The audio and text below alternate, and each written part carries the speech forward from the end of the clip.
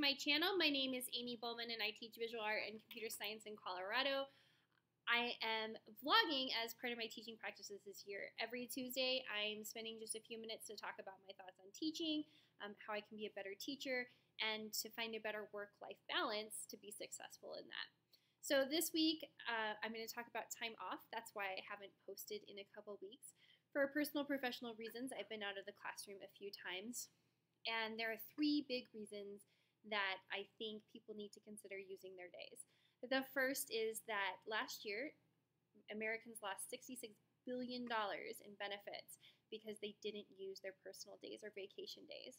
So, absolutely, we should use all of our financial compensation that we receive.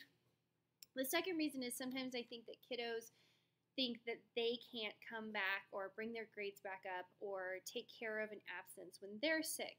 And so we have kids coming to school when they're sick because they're so afraid of what they're they'll miss. And it is absolutely important to be in the classroom, um, but it's also important to take care of ourselves when we're sick. So if they see us taking care of ourselves when they're sick, I hope that that will help them understand that they can be sick and take care of themselves. And then when they come back, that we can work together to, to make up those missing absences and, and the work that they missed.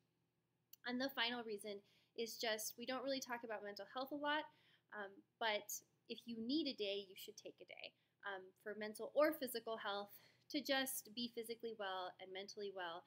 Um, I know that when I'm exhausted or I don't feel well, I'm not the best teacher that I can be. So please consider taking your days off. I do.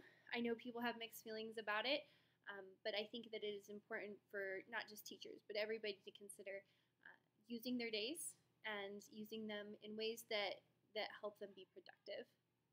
So have a great rest of the week, and on Thursday we'll be posting another warm up.